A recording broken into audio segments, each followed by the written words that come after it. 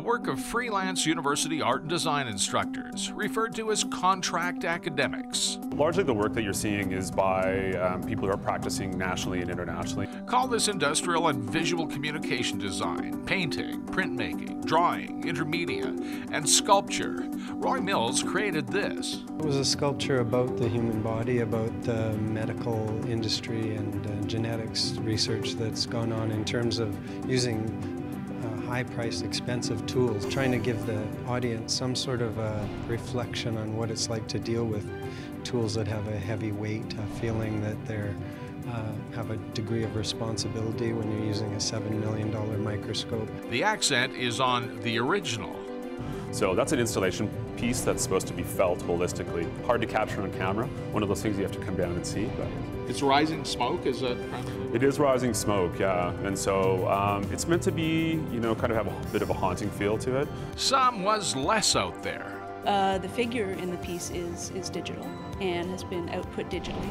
And so I'm thinking as a printmaker, but I'm acting as a painter. So printmaking works in terms of layers. Uh, there's a figure within a cage and it's talking about different types of structures that no longer suit us. Small pictures within mirrors had a certain reflective twist. I looked at modern art, uh, some of the modern art that might sort of fit in with uh, some of the ideologies that are going on in this show right now.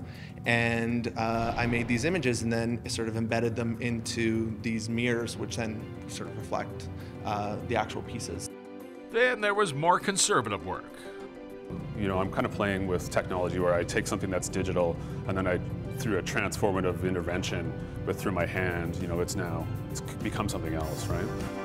Like he said, these are the people that are that are teaching you know maybe 50% maybe 60% of the students uh, compared to the full-time staff here and uh, I, I, think it gives a gives an, a sort of a nice take on the worldviews. The exhibit is a fantastic exhibit, I think, because it really shows the diversity of Edmonton um, artists and people who are instructing, particularly at the University of Alberta.